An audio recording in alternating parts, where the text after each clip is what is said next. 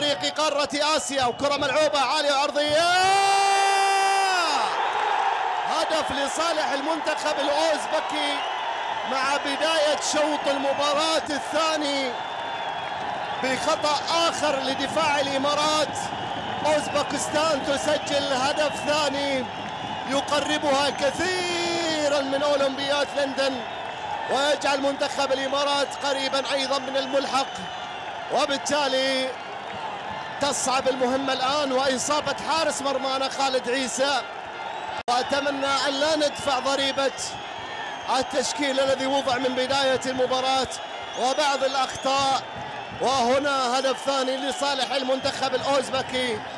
أفضل سيناريو لأوزبكستان هدف ثاني بعد مرور أقل من دقيقتين على انطلاقة شوط المباراة الثاني. قدر الله ما شاء فعل. هذه الكرة اللي أبعدت من دفاعنا وسجلها الكابتن وقائد المنتخب الأوزبكي موسييف. وبالتالي الأمور أصبحت صعبة للغاية. خارج أرضنا وفي جو صعب جدا وفي أرضية صعبة وبنتيجة صعبة.